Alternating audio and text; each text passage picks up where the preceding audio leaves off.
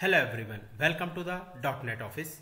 In this video, we will discuss like how we use a, a fake asynchronous and asynchronous in unit test case. In the previous video, where we have discussed about the uh, like uh, when stable method. So these method like when stable, fake, async or sync, these all are used to uh, make unit test case in the asynchronous way. So let's understand what is the difference between done and fake asynchronous and synchronous. So let's see what is the difference between these things. So the Jasmine done function and spy callback, we attach specific callback to spy so we know when promises are resolved. We add our test code to those callback and then we call the done function in the sense like as we have seen in the previous video when all the promises are completed it means when all the like uh, javascript event completed then we write the done function. So like basically we have to write lot of code here. That works as per our expectation but the writing that code it's a little difficult. And it take time as well. So if you want to know more about like how we uh, write as asynchronous testing with the done method you can watch previous video of this tutorial series. Now if we will uh, use the async keyword. So the async keyword basically we use with the when stable function. And for this one we don't need to track the promises ourselves. But in the case of the done we have to track the pro promises. But in the case of async and when stable we no need to track that promises. But still we need to lay down our code via callback function which can be hard to read. That we will see in a bit. But when we use the fake async so basically the combination comes with the fake async we have to use the tick method. Like for the async and the done we have to use the when stable. But for the fake sync we have to use the tick function.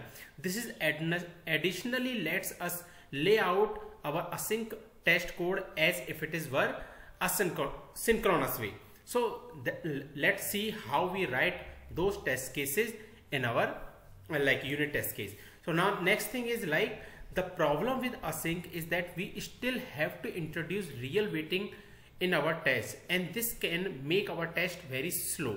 Fake async comes to reduce and help us to test asynchronous code in a synchronous way. So let's understand how it works in that way.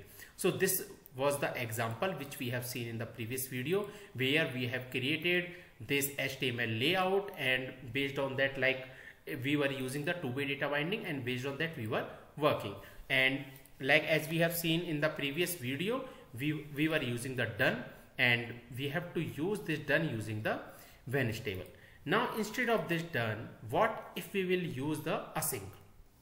So for that one, first what we have to do, we have to remove it from here and then from here. Now when we remove done from here, then what error we get? So it basically give the prefix like uh, specific has no expectation. So now let's get rid of um, this and let's make it with async. So for making that one, what we have to write, we have to make the async method and inside this method, we have to write all the code.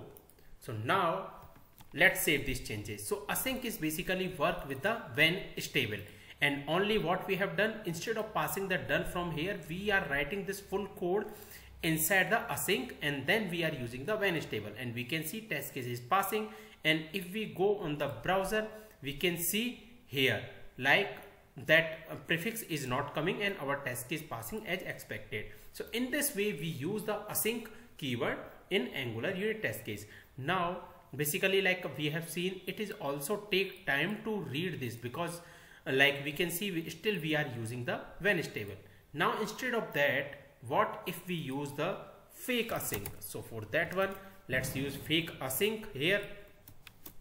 So this is the fake async. Let's remove this extra keyword.